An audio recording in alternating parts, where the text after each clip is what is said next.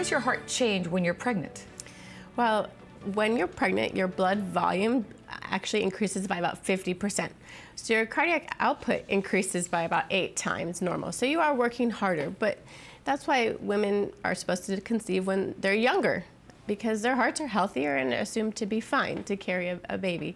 You also may get increase in heart rate, sometimes a drop in blood pressure depending on where you are in pregnancy, but there are dramatic changes in physiology during pregnancy. And I can relate to this next uh, question, which is when you're in labor, obviously it's very strenuous activity. Your heart rate is something that you need to keep an eye on. Uh, when I went into labor, my heart rate went zoom, shot up. I, I, know I was very nervous. I'm a nervous woman. I'm a little bit of an anxious individual.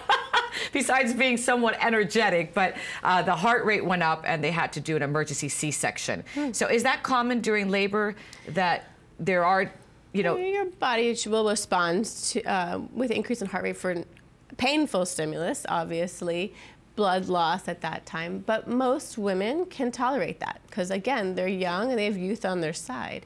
It's women who may have valve disease or born with congenital heart disease that have a really tough time, and we may elect to do a C section, something a little less strenuous on their heart. Exactly. Now, what kind of heart conditions are common during pregnancy?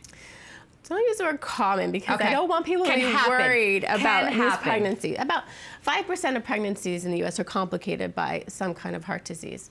Particularly we worry about hypertension um, because that can lead to preeclampsia and is part of the syndrome of preeclampsia, which can lead to early uh, births, um, growth retardation of the babies. So we really watch out for high blood pressure and we'll pretty, treat pretty aggressively if we see that in pregnant patients. And then if you have complications of your pregnancy, whether it be high blood pressure, diabetes, that can impact women's health later on. So mm -hmm. I often will ask patients in their 50s or 60s, how is the health of your pregnancies?